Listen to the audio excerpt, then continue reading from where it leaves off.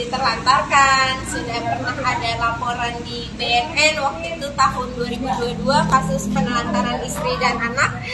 Uh, kemudian sempat rujuk, kemudian setelah rujuk ternyata ada KDRT, kemudian setelah dilaporin ke Polres tahun 2021 sempat saya call, ternyata ada KDRT berulang. Di setiap tahunnya di 2021 sudah saya laporin di Polres. Kemudian saya call di 2022 ada KDRT lagi uh, sesuai dengan video tersebut. Di depan ketiga anak-anak itu saya didorong di sampai ke meja ya menggunakan senjata apa menggunakan pisau.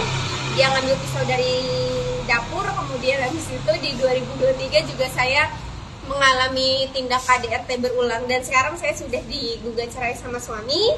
Proses perceraiannya juga masih berjalan saya semuanya pasrah sih harus gimana? Karena jalanin aja yang ada di depan seperti apa. Udah nggak ngerti uh, apa namanya? Mudah-mudahan keadilan bisa saya dapatkan karena saya perempuan ya. Perempuan bisa apa sih ketika di KDRT sama laki-laki yang tenaganya tuh lebih besar gitu? Dia dorong saya dia melakukan tindak KDRT, KDRT berulang.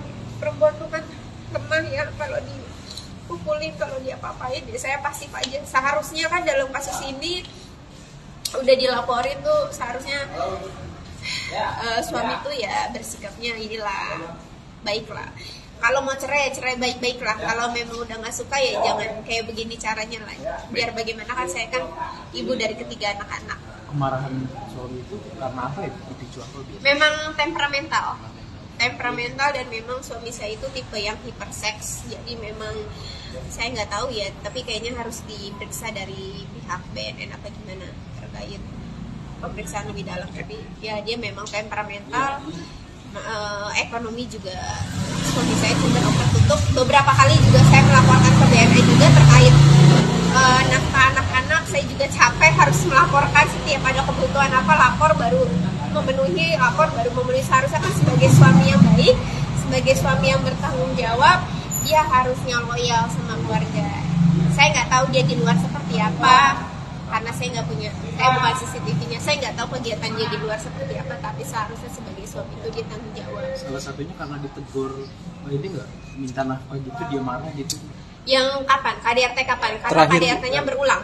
Yang terakhir yang video viral itu uh, terjadinya di mana? Bisa gimana sih sampai seperti itu? Uh, karena yang viral itu ya, uh, mungkin dia menginginkan saya keluar dari rumah itu. Uh, jadi dia pengen saya cerai, saya keluar dari rumah itu saya nggak dapat apa-apa. Ya, kalau saya sih udah pasrah mas, tempat tinggal nanti saya bisa cariin soal ada rezekinya.